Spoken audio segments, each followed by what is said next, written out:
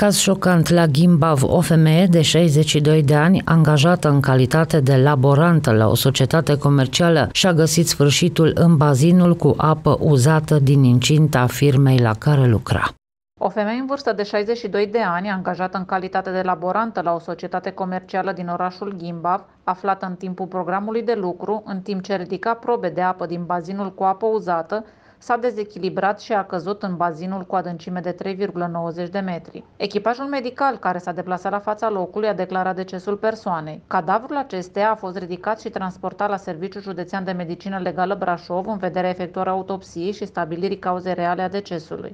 Polițiștii și procurorii fac cercetări într-un dosar penal deschis sub aspectul săvârșirii infracțiunilor de neluare și nerespectare a măsurilor legale de sănătate și securitate în muncă și ucidere din culpă. Și inspectorii de la ITM Brașov fac verificări în acest caz.